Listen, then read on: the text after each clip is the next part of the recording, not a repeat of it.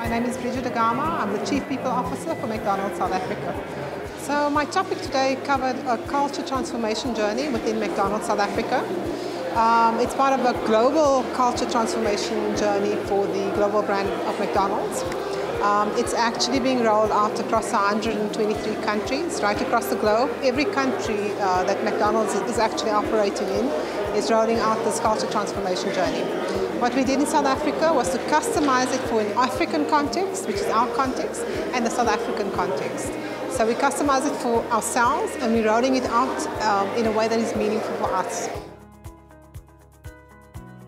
So, you know, um, for many years it really felt, uh, felt like, uh, for me as an HR practitioner, that there wasn't much happening in the HR space.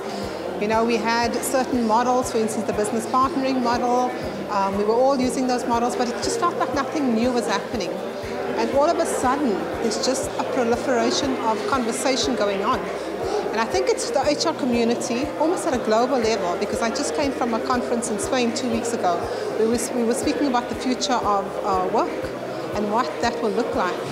Um, and then we as an HR community are trying to prepare for that future. And that's why a session like this is so important, because actually it gives us the opportunity to have those kind of dialogues. How should we prepare for the future?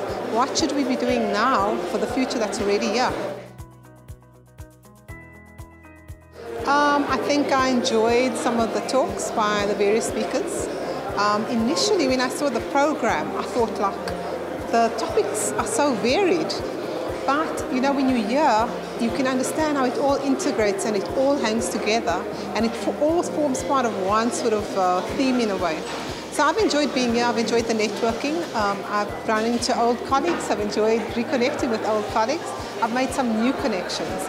And there are people here, business people, HR practitioners, um, and we've had conversations where we commit to networking again into the future and maybe partnering on projects in the future. There'll always be a need for humans in HR, I'm pleased to say.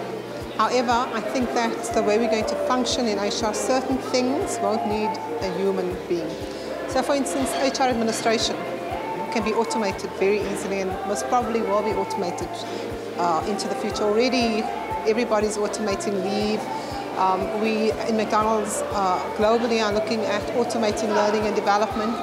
So using um, automation, using digital technology uh, so that we can have impact, more impact in terms of um, building new skill sets, building new competencies.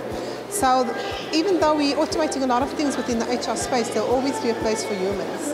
There are just certain things that I think a human need, needs to do. So for instance, conceptualizing is one space in which a human will have to do it.